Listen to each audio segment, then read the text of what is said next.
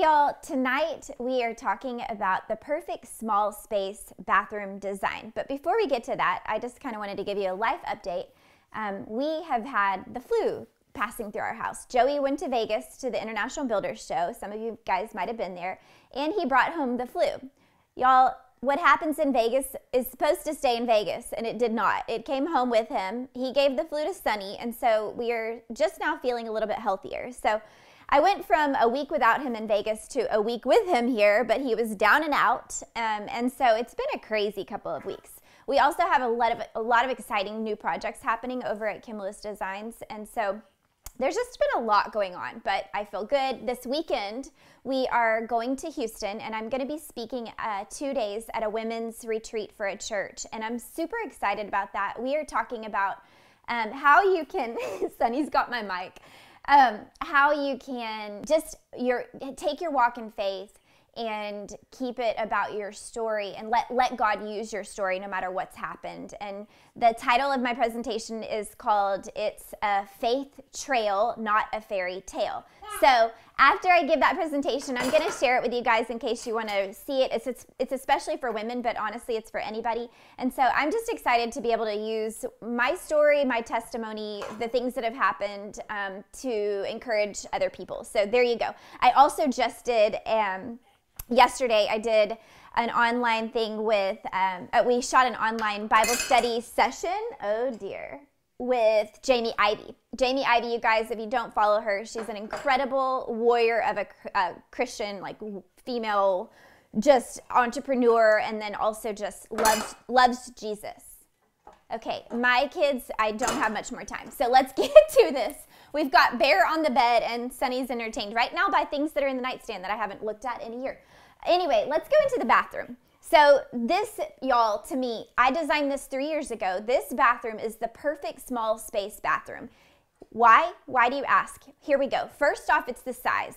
The size of this bathroom is eight foot deep by 75 inches wide. Now, that's just over six foot. So, six foot by eight is generally speaking. Now, this is a perfect architectural floor plan for a small size bathroom.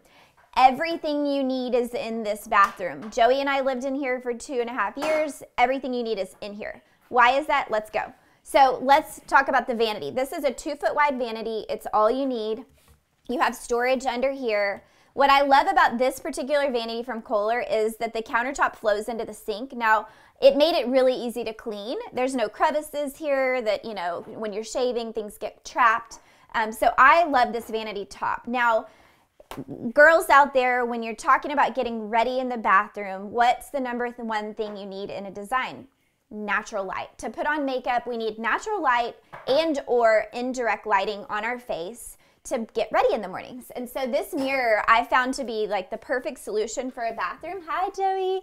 Um, for a bathroom, and this is also from Kohler, but the indirect lighting across the mirror and, and the built-in lighting, integrated lighting is a perfect solution for putting on your makeup in the mornings.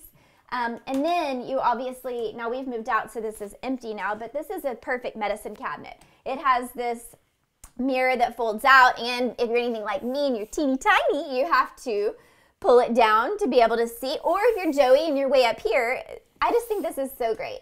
You also have an integrated plug for um, curling your hair and things like that. So this medicine cabinet combined with this vanity was honestly all the storage that we ever needed.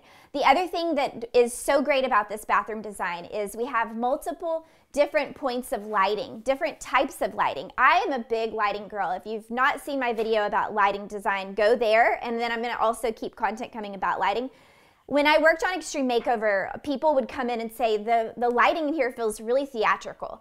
And the reason for that is lighting creates ambience, it creates a mood. And in the bathroom, the, you've got to be able to create different moods in the bathroom for different times of the day. In the morning, I need energy and I'm getting uh, ready for the day, and so I need the indirect lighting to put makeup on. Now, if it's the nighttime and you love baths like me, I am a bathtub girl. I take baths all the time. Then I don't want this on. I want this off, and I want some mood lighting in here. Y'all, this Edison bulb over the vanity, perfect mood light. Um, we've seen Edison bulbs for years. They come, you know, the trend has been hot for a long time. But what I do love about this is that it creates a warm glow in this bathroom. Hi, Sunny. And when I took baths in here, I used this little stand and put a candle here. And this is a perfect spot for my book or my glass of wine or my soap. So creating moods with lighting is really key. So this seems like overkill, but I've got a vanity light. I've got integrated mirror light. I've got cans. Let's turn that off. I've got cans on the ceiling over just the shower.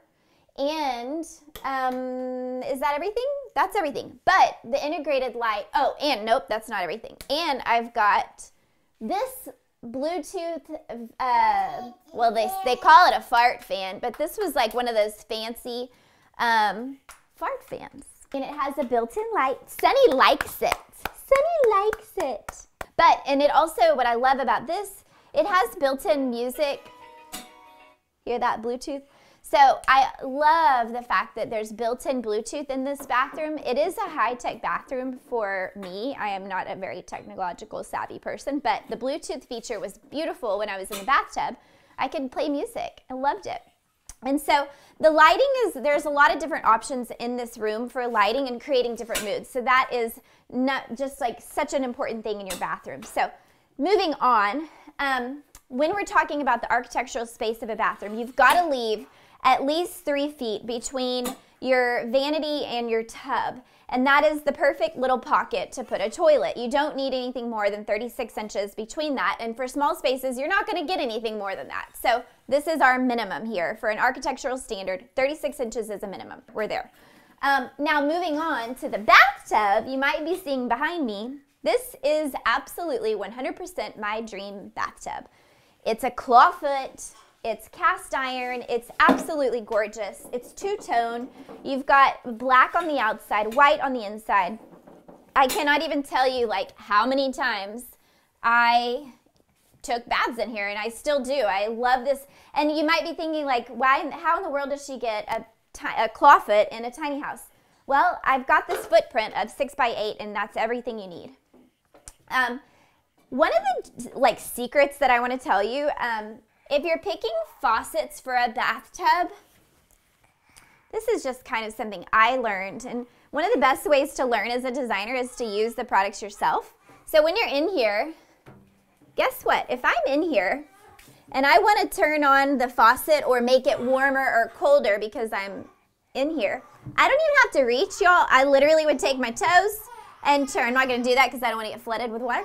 But I can take my toes and turn this because I used the pinwheel faucets. Awesome. Literally, it made it so easy. Now, if I just had the little handles, it would have made it harder to do that. So this is kind of one of those little secrets that I loved as I, you know, would take baths in here. It makes it easy to change the temperature of the water. I gotta be honest, y'all, I'm tired. Like, mama, mama's tired over here. For some reason, any of you moms out there, I feel like mothers are like protected in this bubble when everybody in the family gets sick. And especially I'm nursing Bear right now, so I, um, it's cool how moms are like protected. Moving on, so the clawfoot tub is perfection. We also added a rain shower. Now, the rain shower is kind of something that Joey actually really loved, and that is such a beautiful, nice little feature. Um, it's like a gravity pull situation, so the water literally just sort of sprinkles on your head. Now, if you're drawing your bathroom from scratch and you're building, or if you have the opportunity to renovate, I highly recommend getting a window in your bathroom. Even if it's a transom, this y'all allows natural light into the space, which we talked about a second ago. It's very important for putting on makeup and just getting up and at 'em at the start of your day. So get yourself a window if you can. What I also love about what we did is on this wall, we made the, we made the wall thicker. So I've got a built-in window ledge here, which enables me to put shampoo, plants, you know, all my soaps up here so I don't have to have any kind of niches or additional um, shelving here for um, products. So this actually is serves serves a purpose um, for light and as a functional shelf. Now I'm gonna, yes, would you like this clip? Thank you, love. Okay, I also have a robe hook, so the little details. I think in a bathroom design, y'all, the hardware is really important. The hardware is like the eh. jewelry. splurge a little bit and get yourself a nice toilet paper holder, a robe hook. There's so many cool like companies out there now that do really thoughtful, intentional, very cool designs for things like your toilet paper holder, your robe hook. I would say spend a little extra and get some something more interesting than just your like off the shelf big box store hardware. This will make the details of your bathroom just come together. So that is pretty much everything I wanted to say about this bathroom design, but there's one more thing, and I think it's honestly the most important. For me, design is such a personal thing, and especially in a bathroom where eh. you're like sharing space um, eh. with your family, maybe your husband or your children. Um, look down below here. Eh. Oh, there's my pin. Um, this Rise Up is a personal message that I put in the tile of our floor. The story behind this is Joey and I on our third date. Um, we were talking, we were still going through the questions of like, what kind of music do you like and things like that. And we both, when he, when we said, what, what's your favorite music? We both said Eddie Vedder. And we both said, literally at the same time, Into the Wild soundtrack, which was so random. That's so specific and so random. And there's a song in there um, that talks about the, the verse says, I'm going to rise up um, to find my direction magnetically. And I just love that because to me it's a testimony. That that line to me says if you're doing what you're supposed to be doing in life, like things just like happen and it comes to you like magnetically.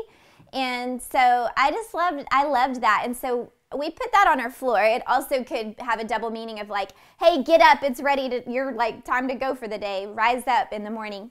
Um, but just having a personal message in your bathroom, it doesn't have to be a permanent thing in the tile. It could be art displayed on the wall, but something that just makes you happy and speaks to who you are as a family member or, you know, single person, whatever. Something that makes you feel happy in your space.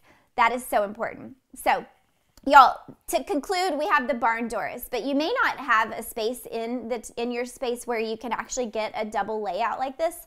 But in our tiny home design, this mm double barn door situation was per was eh. perfection. Because if we had eh. someone living or eh. a guest staying on that side, yeah, Sunny, that side. If we have someone staying over there, then we could close this side and it just made it like feel a little bit more that they had their own entrance from that unit, the living room unit, to go over here. Now, it did make it funny because um, we were always like, it's okay, come into our bathroom, I mean, come into our bedroom to go to the bathroom. So if you have an opportunity in your space to add a barn door like this, it's a perfect solution for small space bathroom design. I hope you learned something, you guys. Bathroom design is so important in terms of ergonomics and aesthetics and finishes you got to have the whole package. I really feel like this bathroom nailed it, and I'm proud of this design. I hope you learned something tonight. Come back next week for more content. Hit that subscribe button, hit the bell if you want to be notified when we publish. You guys, thank you so much, and have a great night. I will get close to your heartache if you want open your door. Mm. I'm feeling kinda lost when your mind is hiding. Whatever that is choking your chest